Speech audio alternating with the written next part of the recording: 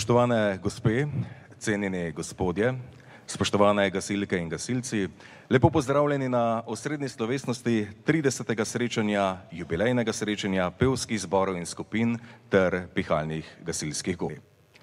Nemalo zaslug za to, da se je iz prvega srečanja rodilo toliko nadaljevanj, nocojšnje že 30. pa ima seveda gospod Janko oziroma Janez Kolarič. Namreč on je bil tisti, ki je nekako kriv za vso to nadaljevanje skozi vsa mnoga leta. Zato ga ob tej priložnosti seveda vabim k nagovoru.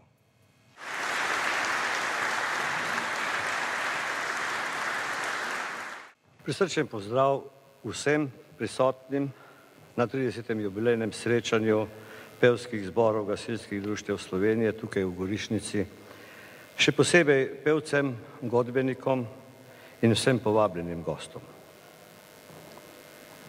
Leta 1983 sem razmišljal, da bi najbolj množična organizacija na slovenskem lahko imela tudi svoja pevska srečanja. Takrat je bilo med gasilci v Sloveniji še malo pevskih zasedb.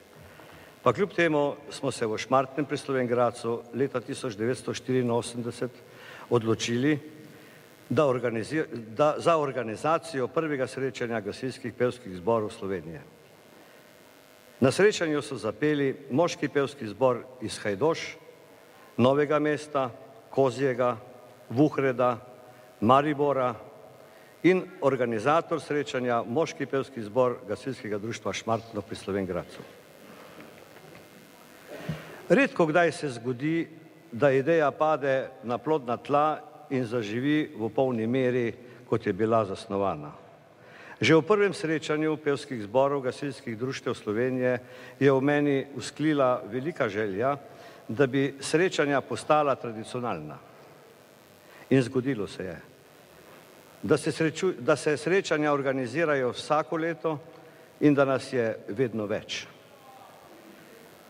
Vsako leto se srečujemo drugje, spoznavamo Slovenijo in ljudi posod nas toplo sprejmejo, posod se organizatorji potrudijo za kar najboljšo organizacijo in tako prededitev živi dalje. Še en dokaz več, da med gasilci v Sloveniji kultura ni zgolj obrobnega pomena.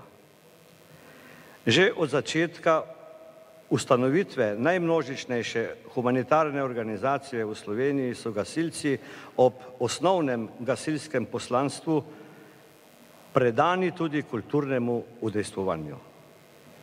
Tri desetletja pevske dejavnosti so lahko v ponos vsem gasilcem na slovenskem.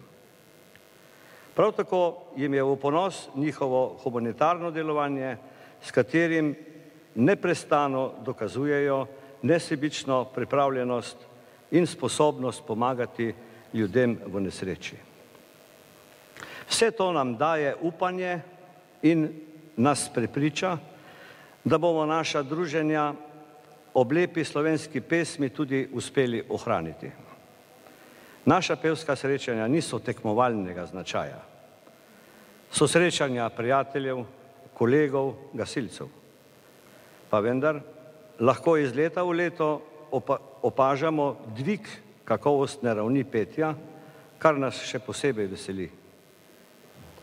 In če nakratko povzamem naše delovanje, smo v teh 30 letih imeli veliko, smo v teh 30 letih imeli vsako leto pevska srečanja v krajih Slovenije, kjer delujejo gasilski pevski zbori. Nekateri so srečanja organizirali tudi večkrat. Srečanja pa je organizirala ob večjih dogodkih tudi Gasilska zveza Slovenije, ki je na 12. gasilskem kongresu leta 1993 v Slovengracu pesem Ivana Karpača iz Šmartnega pri Slovengracu uradno razglasila za himno slovenskih gasilcev. Leta 2005 je 150 članski druženi moški pevski zbor slovenskih gasilcev posnel z goščenko, ko gasilci zapojo. Leta 2009 pa smo obeležili 60-letnico rojstva gasilske himne v Šmartnem pri Slovengracu. Vsak posameznik, ki deluje v gasilstvu, tudi na kulturnem področju, je prispeval da je naše srečanje doživelo 30. jubilej. Vsa leta so pevsko dejavnost budno spremljali tudi v vodstvu Gasilske zveze Slovenije in nam pomagali, za kar smo še posebej veseli in hvaležni. Veseli smo tega jubileja in tega, da nas druži pesem, da razveseljujemo in bogatimo premnoga srca poslušalcev, ter da smo v ponos gasilstvu na slovenskem. 30-letna tradicija nas zavezuje, da ustrajamo naprej, tudi v smeri združevanja z gasilskimi godbami Slovenije, ki bodo s svojimi nastopi obogatile jubilejno in naša prihodna srečanja.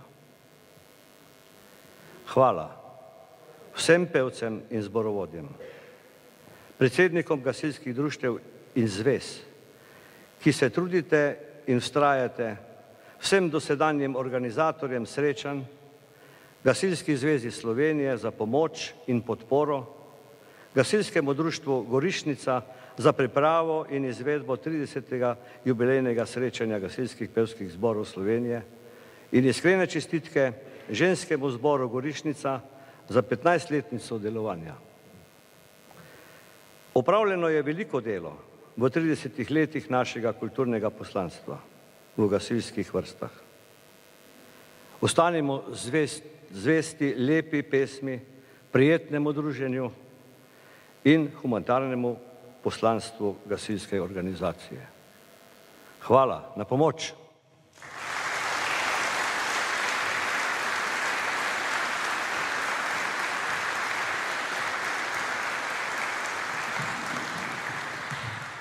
Iskrena hvala gospodu Janezu Kolariču, ki je zaslužen za to, da se že 30 let srečujemo, lepo pojemo in se družimo.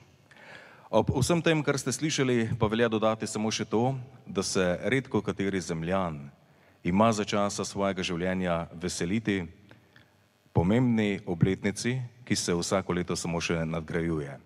Redko kateremu to uspe, če pa to delaš srcem, z ljubeznijo in predanostjo, pa so uspehi zagotovljeni. V 30 letih se je zamenjalo nič koliko vlad, celo nekaj predsednikov držav. Srečanje gasilcev pa še vedno obstajajo.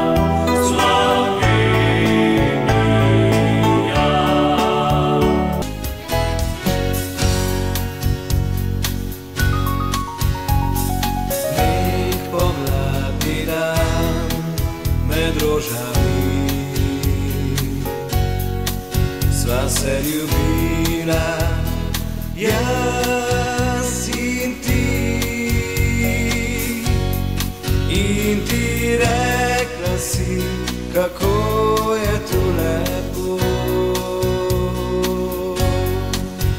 Za ljubezen najino.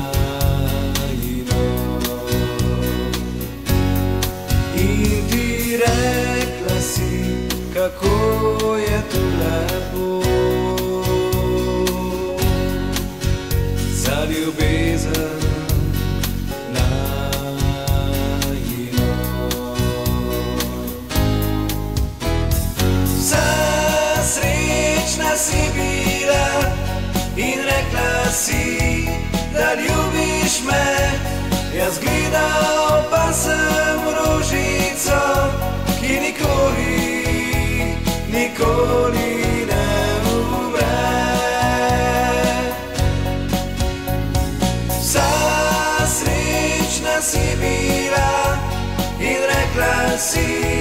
da ljubiš me.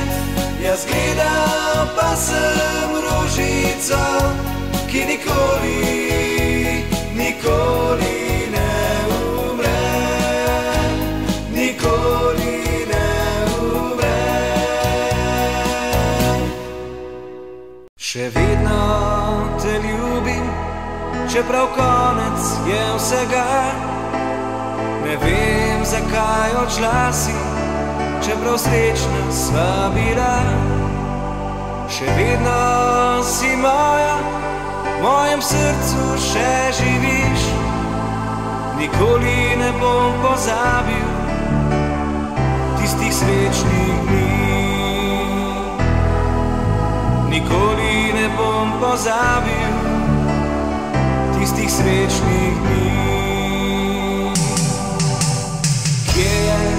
Tista pesem, ki sem zapil ti jo takrat? Nisem še vedel, da bilo je zadnji krat. Še vedno si moja, v mojem srcu še živiš. Nikoli ne bom pozabil tistih srečnih dni. Nikoli ne bom pozabil tistih srečnih dni.